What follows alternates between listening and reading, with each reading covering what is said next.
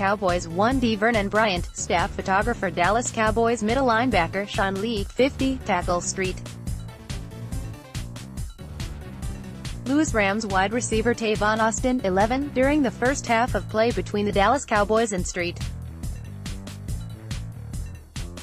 Louis Rams at Vernon Bryant, The Dallas Morning News, by SportsDayDFW.com At SportsDailyFW the Cowboys traded one of their sixth-round picks on draft day to acquire speedy Los Angeles Rams wide receiver Tavon Austin, who is expected to become the team's primary big play threat this season.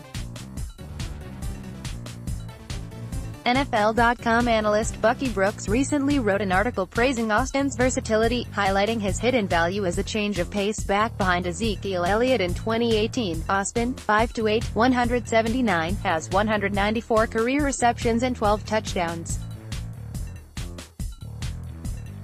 He has also rushed for 9 touchdowns and returned 3 punts for scores. In 2016 under former Rams coach Jeff Fisher, Austin caught a career-high 58 passes for 509 yards and 3 touchdowns. Brooks writes that Austin was probably mischaracterized as a receiver leading up to the 2013 NFL Draft, pointing out his record-breaking all-purpose performances at West Virginia.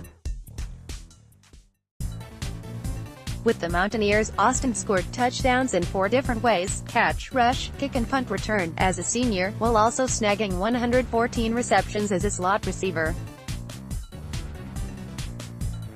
His versatility can be traced back to his high school days at Dunbar High School, Baltimore, where he was the two-time consensus Maryland Player of the Year after recording 790 points, 123 total touchdowns, 9,258 all-purpose yards and 7,962 rushing yards, Brooks noted. Austin is also expected to become the Cowboys' primary punt returner now that they've moved on from Ryan Switzer, a fourth-round pick in 2017. I just want the ball in my hands in some space, Austin told Sports FW. That's the main thing for me. Let me do what I do best. Get the ball to me in space, and just let me go. On Austin's production, Brooks, looking back at Austin's most productive year, 2015, in the NFL, it is not a coincidence that he delivered matching production as a runner, 52 rushes for 434 yards, 4 scores, and receiver, 52 receptions for 473 yards, 5 scores.